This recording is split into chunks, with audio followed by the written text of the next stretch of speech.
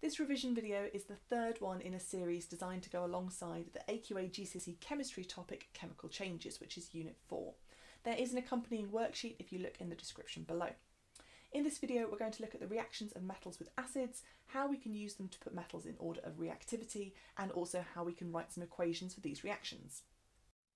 By the end of this video, you should understand how reactions can be used to put metals in order of reactivity and be able to recall a general word equation for the reaction of metals with acids. You should be able to name the salts formed by the reactions of three stronger acids, and by putting those last two things together, you should be able to complete word equations for the reactions of specific metals with acids. Chemistry is all about finding patterns and using them to make predictions about what reactions will and won't happen. If you've been watching the series so far, then you've seen us do reactions of metals with oxygen and with water and use those to build a reactivity series, a list of metals in their order of reactivity. Based on this, we can make predictions about which reactions will or won't happen.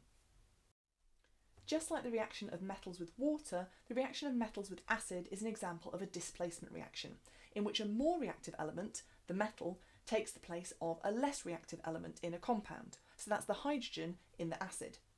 Metals that are more reactive than hydrogen are able to displace it from acids. So we wouldn't expect elements like copper and silver and gold and platinum, which are found below hydrogen in the reactivity series, to react with an acid. When metals react with acids, Definitely two hydrogen. products are made. The first one is a salt, and although you might immediately think of sodium chloride, the table salt that you put on your fish and chips, that's just one example of the thousands of different chemicals that we call salts. A salt is an ionic compound, which means that it contains some metal and some non-metal. The other product that's made is hydrogen, which is a flammable gas which we can test for by igniting it. Hydrogen burns rapidly with a squeaky pop sound.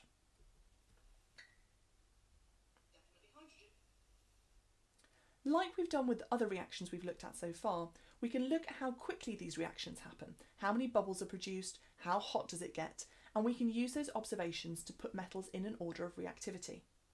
We already know that potassium, sodium and lithium are extremely reactive because they reacted very quickly with water. But we can now put magnesium and calcium just underneath those very reactive metals because magnesium and calcium react quite quickly with acids. Underneath them, we have the rest of these medium reactivity metals, things like iron and zinc and tin, which react more slowly. We might see a few bubbles when they react with acid, but not nearly as many as magnesium and calcium. And finally, we have those jewellery metals gold, platinum, silver, copper. These metals are less reactive than hydrogen, and so they won't react with acids at all.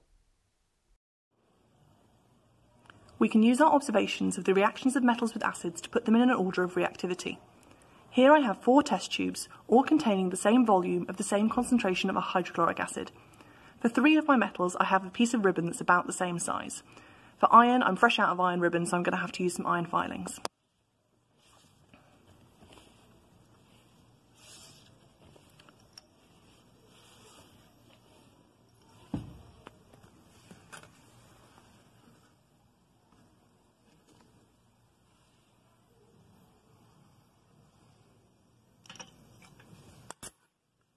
When metals react with an acid, they release hydrogen gas and they also make a salt.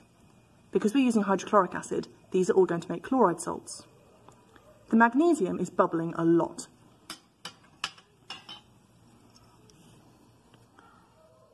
The zinc, we can see some small bubbles forming on the surface of the ribbon.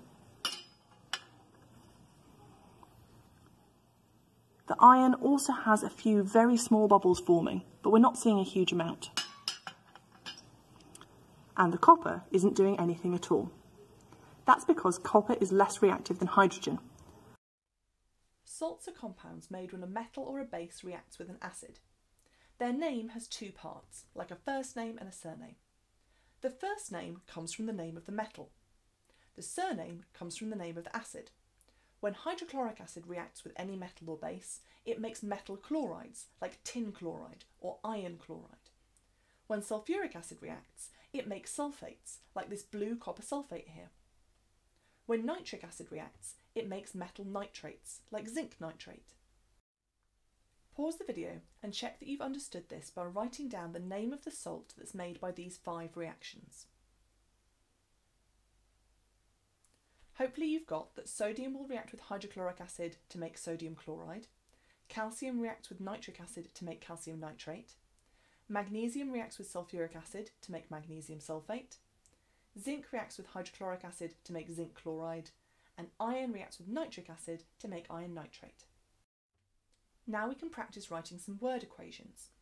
We know that a metal will react with an acid to make a salt and hydrogen. You can remember this using the acronym MASH. For instance, when iron reacts with nitric acid, it makes iron nitrate, that's the salt that we practiced naming in the last slide, and hydrogen. Pause the video and see whether you can finish these five word equations.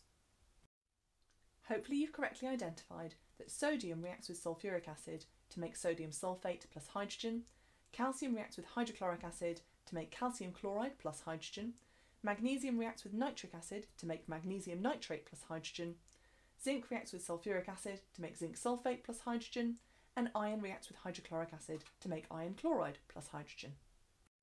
If you've downloaded the worksheet, there are now 10 more examples of word equations for you to practice completing. Hopefully that was a useful introduction to this topic. Thank you very much for watching and if you did find it helpful don't forget to like and subscribe for more GCSE chemistry videos coming soon.